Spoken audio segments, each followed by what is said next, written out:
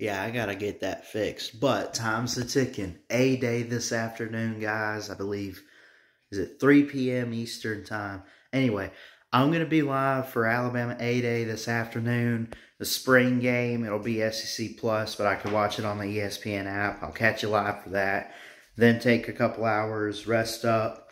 We'll catch you for the unprofessional sports show, and we'll recap not even just Alabama's game but we'll look at Georgia. We'll look at. Um, I'll have to pull it up. I know Bama and Georgia are both having their spring games today, uh, but I'll pull up the schedules and everything, and we'll look at uh, some other teams that had spring games today, and maybe I'll drop the link tonight. Let you guys on if anyone had their spring game today uh, as fans.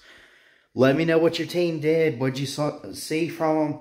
I'll definitely recap a day um, I, I, really don't care which side wins, whether it's Bryce or Milroe or whoever. But really, what do I want to see? As I mentioned earlier in the week, I want to see great competitive toughness.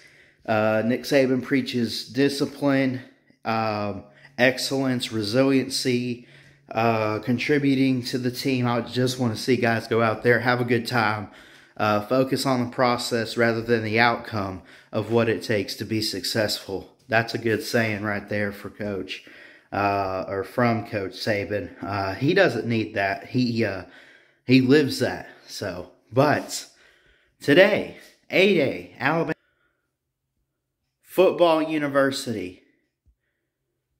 Alabama taking the field later this afternoon, 3 Eastern.